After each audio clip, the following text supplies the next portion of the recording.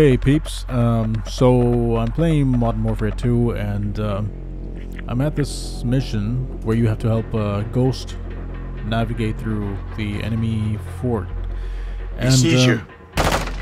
Yeah, so I get caught even though I don't move a muscle.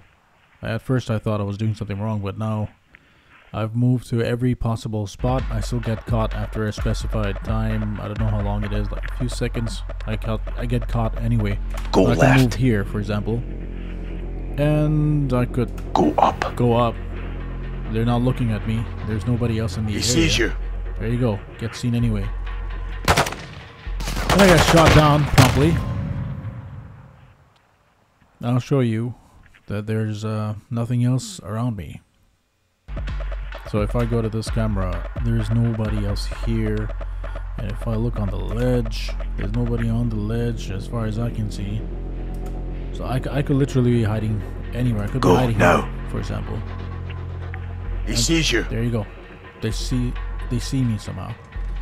Anyway. Help. Any kind of help would be appreciated.